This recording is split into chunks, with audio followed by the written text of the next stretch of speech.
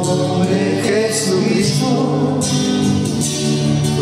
Por más que quieras encontrar otro nombre que pueda salvar